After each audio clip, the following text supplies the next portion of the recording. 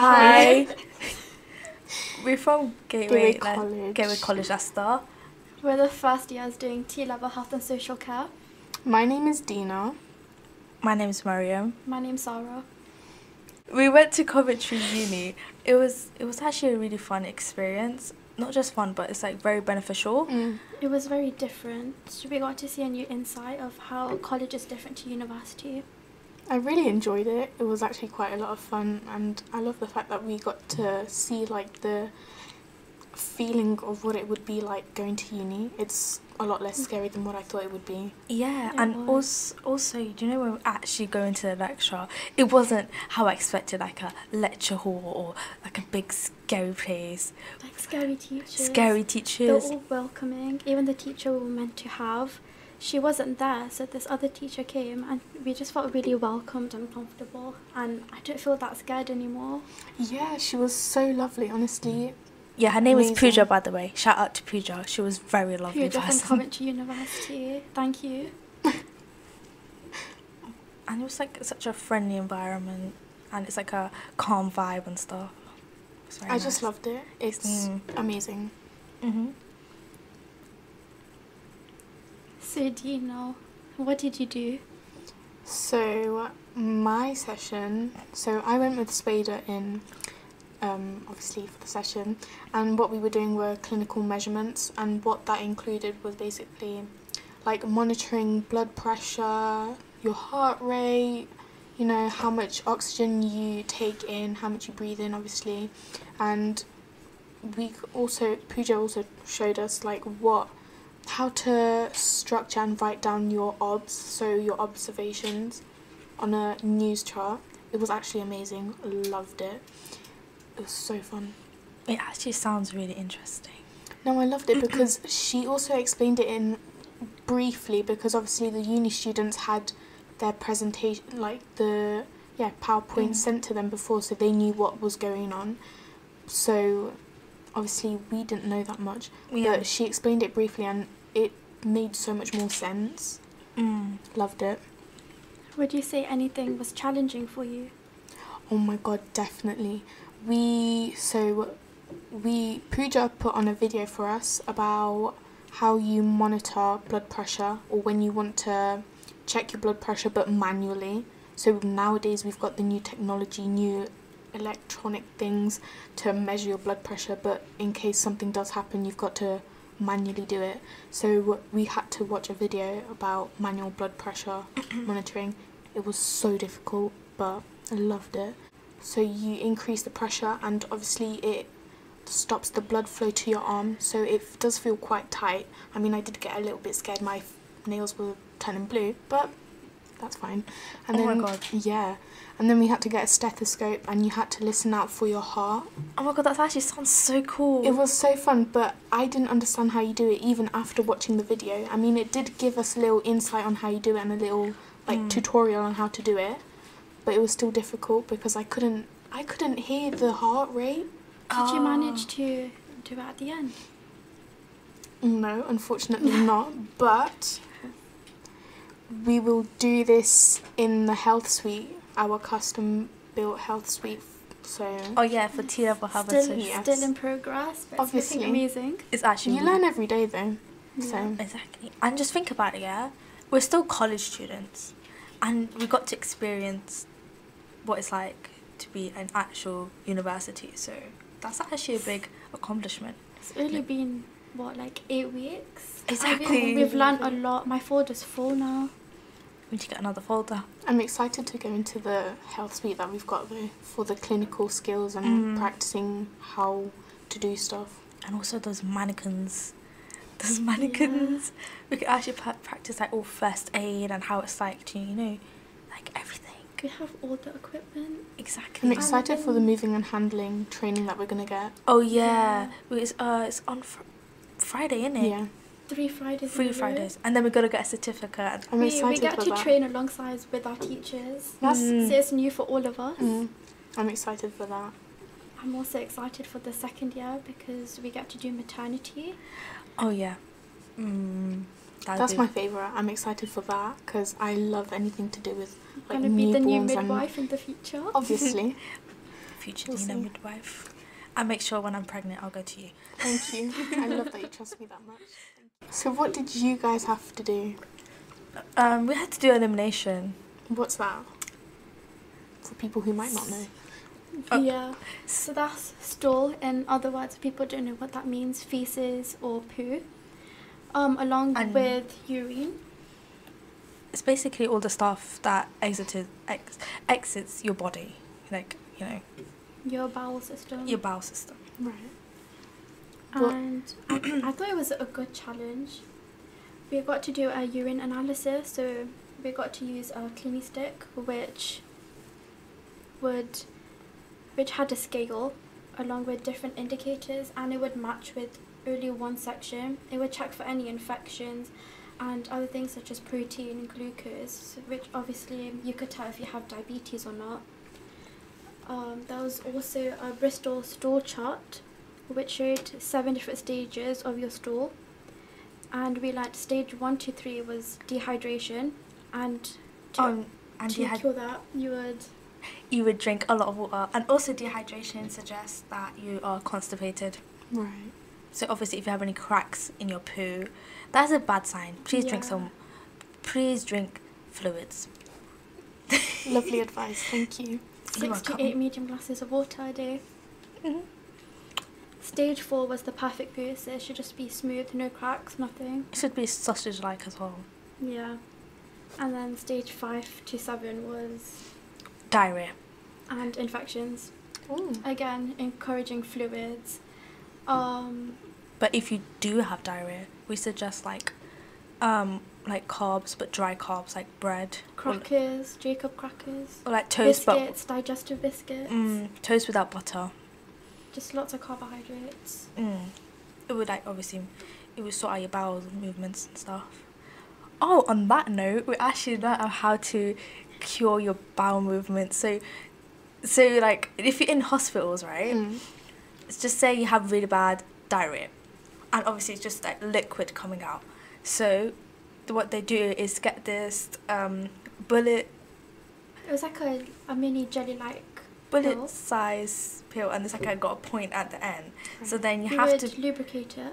yeah lubricate it so then it wouldn't hurt, and you put it up the back passage of your bum. The anus. Oh yeah, the anus, and then you just hold it there for like a few seconds because Ten you, seconds. ten seconds because like they might fart and it will just come out. Right. So you have to just hold it there, and then. so it stays. Because So it it can easily slide out. Mm. And yeah, obviously, but when you're doing that, you have to be like how be really kind to the patient because obviously it's like it's gonna be embarrassing for them. Like obviously they I know. and so you obviously you have to be like you have to have that um I guess You have to be maturity. mature. yeah, mature dignity. You have to give, Yeah. you give them dignity. You just need to respect them Also, because obviously, so how would you feel if someone was laughing at you? exactly that wouldn't. It happens. It happens on a daily occasion. You can't control what happens.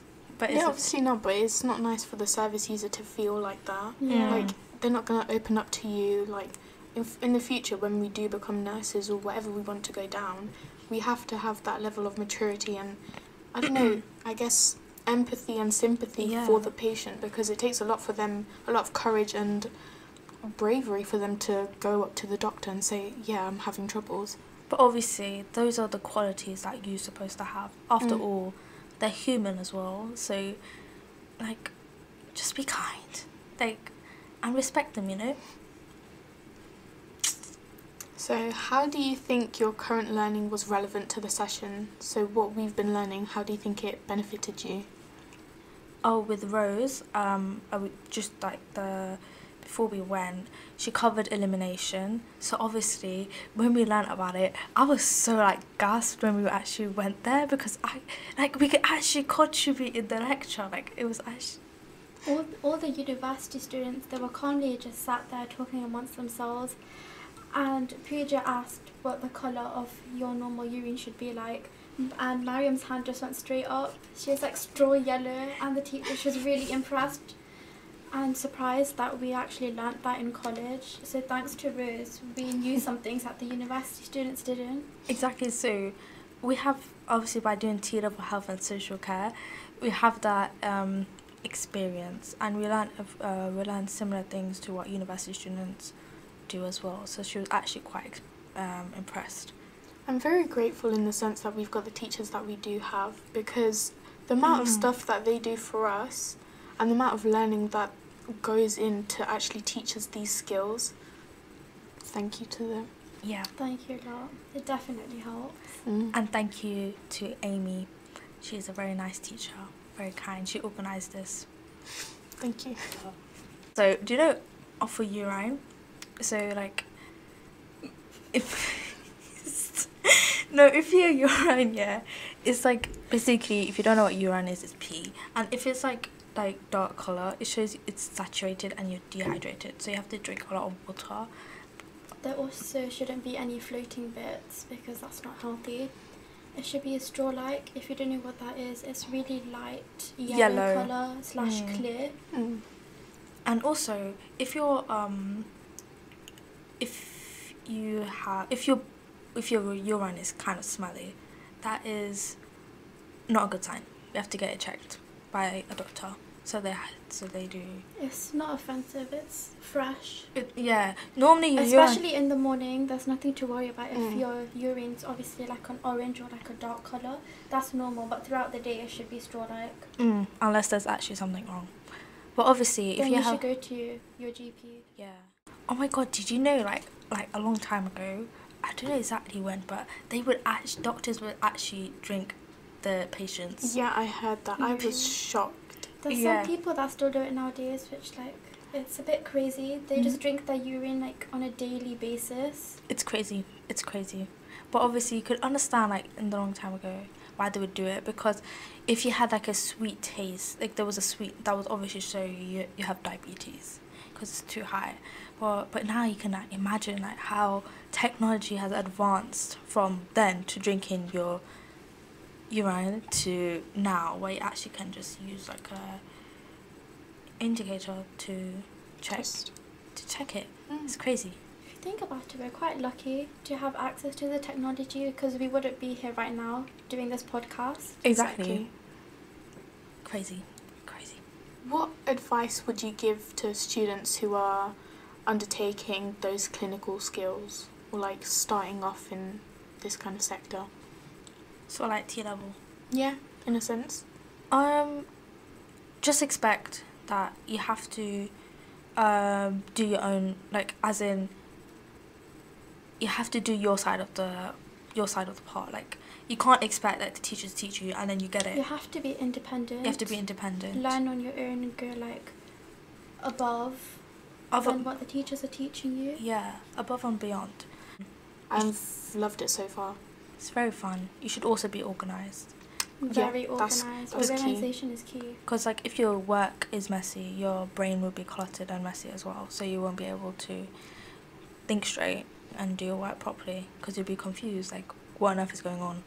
For example, now that our timetable is quite like spread out in a way, so Wednesdays we're in until 12 and then Fridays we don't have to come in. So use that wisely. Exactly. You have to at least do do your homework then, and or just catch up on your work or do extra work or something. Or like just use that time to almost relax because mental health is important. I know Mm. that it's a lot to take in. It shouldn't. It shouldn't be continuous. Don't every Friday. overwork. o- Every Friday, it shouldn't be you're sleeping in, or you're going out with your mates. That's fun and all, like seeing people, but that's what the weekend's for. So Friday, you should be using the time wisely, going, reflecting on the work that you've done, preparing for any exams that you have, or even taster days. Like for Mm. Gateway, we have an open day approaching. On the 12th of November. We oh will yeah, be there. we will be there. Unfortunately, Sueda couldn't join us with, with the podcast, but she's going to be there as well. It's gonna be so fun because we're gonna Yeah. have different stations where we can do different, like, in a way, experiments. I remember one of them when there was a, another open day that I came to before enrolling to this college where I was with Amy and we put this gel on our hands Oh yeah. and then you'd rub that in. Mm. You'd go under the, it's like a, it's like a, A lamp, UV isn't it? A UV lamp. A UV lamp and that shows how much what is it like germs, Bacteria. bacteria, on your hands, and then you'd have to go and wash your hands thoroughly using the NHS posters that are put up on the in the toilets, Yeah. and then wash your hands and using that you'd obviously go see back. how Go much, back and see how, how- thoroughly you washed your hands. That's also important Especially for us. under under your nail Nails. beds. There's a ton of bacteria Ton. under there. Also, you have to wash your wrists. Like it's cr- yeah. like do you know you, you wouldn't think oh let me wash my wrists like but there's a lot of bacteria there. You should wash your wrists. It's also Especially those who wear like long sleeve tops. Yeah. There's going to be a lot of bacteria. Mm. It's important though because that will help us in the clinical skills and year two of college. Basically, washing your hands is important because it gets rid of all the germs, bacteria, and it prevents um, the spread of infections to other patients who, when working on wards, you're going to have vulnerable patients. So, hand washing is important.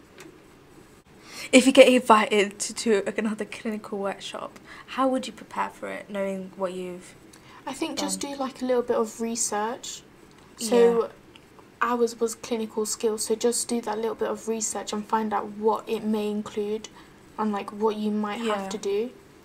Is is there um another clinical workshop that you hope you get to experience in the future? I think because I enjoy midwifery, so something to do with that or like Yeah. learning how to do injections. And injections. That's Definitely. exciting. That's- I'm excited about that. Yeah, because then you actually like inject something in someone. I'm not. I don't mean that in the scary way. I don't mean that in scary. way. We do have a model in our customized health suite, so we will have a go at that in And I think have- it's the second have- year. It's the second year, yeah. syringes. Syringe. Oh my god, the mannequins that we have. So we have a trauma mannequin. trauma S- mannequin. Yeah. it's crazy. We were building it, and I was so excited for it. Like the different models that we have as well is so exciting. Me like the one next to me. Ye- oh yeah, the baby. Yeah.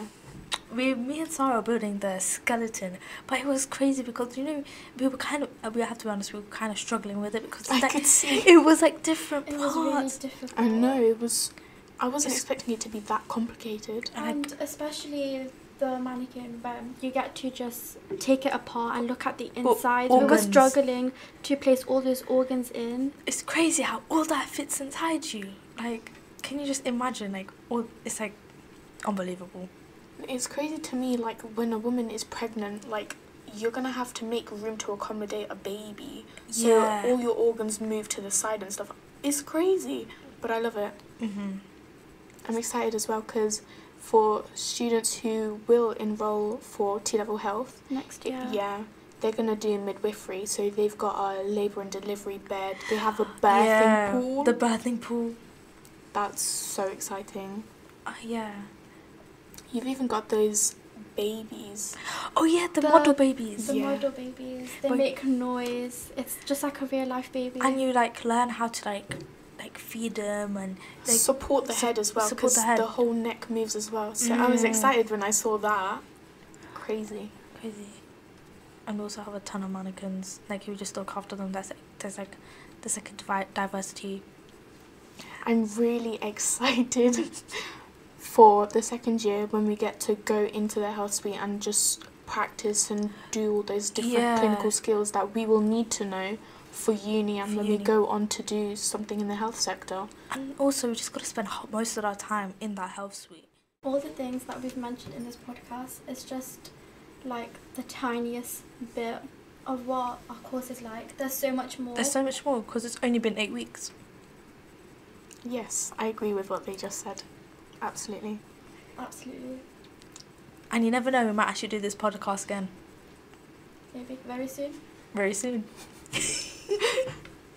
okay, thank you for listening. Thank you. Thank you. Thank you.